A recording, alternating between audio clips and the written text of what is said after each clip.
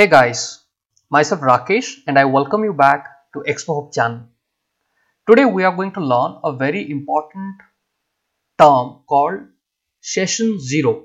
So what is this session 0 and there is a clear cut statement which says please note that a background process runs in session 0 when started from orchestrator on an unattended robot.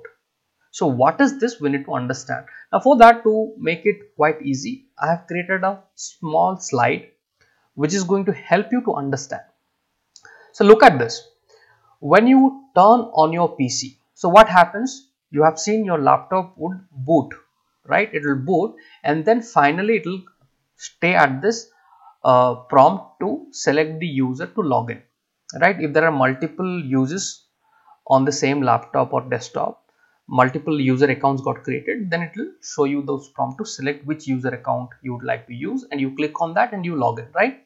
So what happens during startup when you power on your PC, during startup, a Windows session is created for the system processes to run which are not related to specific user and this is called session 0 that means when you are starting up your PC, this is not specific to any user yet. It is going to run all kind of Windows or the system processes will run during that time. Okay, only these system processes will stay active so that the operating system is on and it shows the required user accounts and it all the drivers all the you know your mouse starts working your keyboard supposed to work so all the processes that is required right for the windows to operate that is known as session 0 okay when you power on. Now there is something called session 1 so what happens? Let's say you have got multiple user accounts and you click on one of the user accounts. So what would happen? The first user account which you logged in that would become session 1 let's say after some time you logged your computer and somebody else switched the user and logged into some other user account. But your user account is still running in the backend but some other other person is run, using his account right now. So that becomes session 2 so similar way this is a windows microsoft windows way of creating a required sessions for the kind of activities happening on the laptop.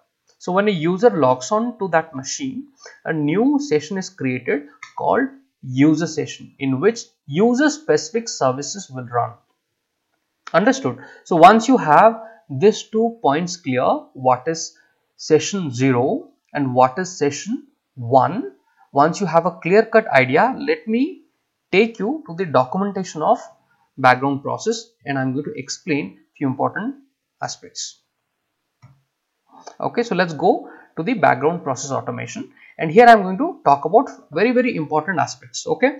And make a note. So you should write it down. When i'm highlighting those points you must write it down okay so look at this. During a startup a windows session is created for the system process to run which are not related to specific user. This is called session 0 during startup. So this we have understood. This session allows windows to run system processes needed for the machine itself. So this is clear. When a user logs on to that machine a new session is created called user session in which user specific services will run okay so this this pointer should be properly noted down. What is session 0 and there are two sessions. One is session 0 and the user session. Okay so now i'm going to highlight another point. Using background process offers a different behavior when they are run in the attended versus unattended automations. So background process started from an attended robot. So if you start a background process from a attended robot that means you are manually starting it right? If you are manually starting this attended robot run in the user session 1 so this user session is also known as session 1 session 2 session 3 depending on the number of users has logged into that laptop or the pc you can have multiple user accounts right? Background processes started from an attended robot run in the user session 1 while the one started from unattended robot runs in windows session. Getting it so this are the this is a very important point attended robot make a note of this okay attended robot run in session 1 wherein the unattended robot will run in session 0. This is a very important point. Okay. Alright. Now let me highlight few more important points that you should know. Now how does the attended robot behave when it is running in session 1? Okay. Background process automation with attended robots rely on user sessions on the machine to run automations. This these are started from Studio or UiPath Assistant and run in the Windows session as the user. Let's say I am the user. So the attended automation generally start, starts from UiPath Assistant. So if I'm if I start a process from uh, UiPath Assistant, this is the UiPath Assistant, right? Then that becomes a attended way of running it. Or if you are running it from the studio. So if I run it directly from the studio, even this becomes a attended way of running a process. Okay. All right and this would run in the user session because wherever I have logged into my PC right based on my uh, PC login it's going to work so I have got access to files folders so it is going to use all of that with my permission right with the user permission because I have already logged into the user session so this is clear as the automation happens in the same session the robot is able to retrieve information and access files that are specific to the user so this is very important point. So this section you should make a note. Important point. Okay. Now the now the question is Rakesh, Windows session zero, right? The session zero. The session zero does not have any access to files because if you look at let's read this. Let's read this. Unattended robot. Background process automation with unattended robots are started by the robot services and run in Windows session 0 correct? It is important to know that session 0 has no user interface. The session 0 does not have any kind of a user interface. It's just you know the moment it boot you turn on the pc it just went on to the login screen. But again it does not have any user interface. It cannot access any files and cannot interact with user session when using this type so how does it work when using this type of processes on unattended robot. Keep in mind that they run in the name of the user and they inherit the permissions. So let me show you in the UiPath Studio. If you go to UiPath Studio and hit on tenant, okay, and then hit on robots, there you would find there are two things. You have something called user session. When you run any kind of a attended bot, here you would find user session. Okay this is the attended bot. Now okay so user session. The user session means it is going to run in the attended way. Now here i have unattended session. That means anytime you are starting a process directly from the uipath orchestrator so this would run in the unattended way.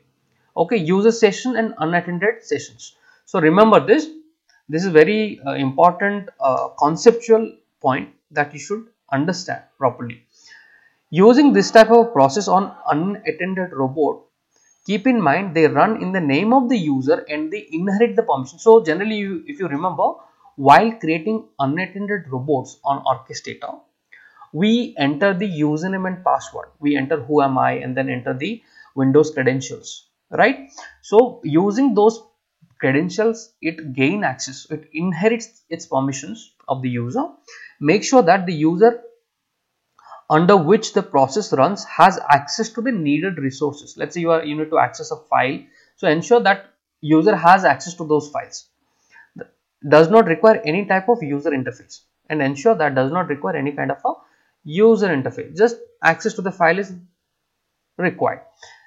Okay, so this is an important point and also they have given a note here when running background automation by unattended robots using Microsoft Office applications such as Word, Excel or PowerPoint might not work properly. If you are doing an unattended way, if you are running it through unattended way, then it may, may not work. But if you run those background processes through the attended robot, if you started in the user session, it is going to work. Okay. Um, been built on or run in user session. So all those applications are built by Microsoft to work properly as they have been built to run in the user session. Meaning that they need an interactive desktop session and the user profile to work. Okay so this point is important. For additional information on how to so this you can so this is this point is important okay? So while you are doing any kind of automation do not try to uh, initiate that process uh, let's say background excel automation you want to do.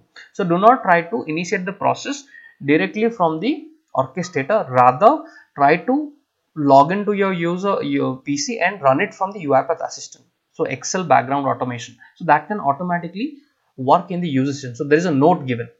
Okay so this is a very important note that while working on unattended robots be careful. That should not be a excel uh, or the microsoft office application related automation. Then it won't work. So these are the various important points that i've covered in this video. I hope you have made a note. I understand these are very theoretical uh, and points but again uh, these things appears in your exam. So you need to answer it properly only if you have made a note of all these points and have understood. Okay? So thank you guys. I hope this um, video should be helpful for you to understand um, the topic i would like to cover. Uh, and we are going to meet again in our next uh, content. Take care. Bye bye